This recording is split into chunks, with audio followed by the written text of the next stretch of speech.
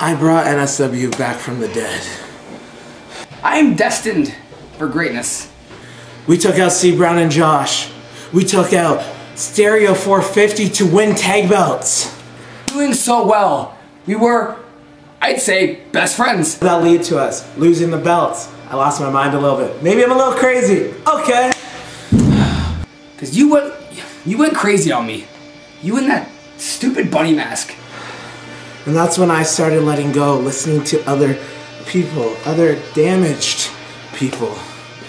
End of the day, you thought it'd be funny to throw fire in my face and cost me a fatal four way to win another championship. But I've never, I've never had fire thrown in my face. That's fine. He's not. I'm not gonna lie to you. I am so mad right now. I don't recall what day NSW was on.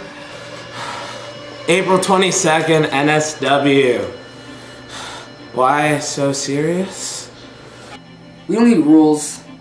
We don't need a referee. I just want to fight you.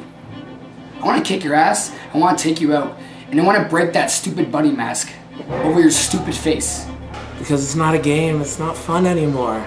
It's gonna be fun, it's gonna be bloody.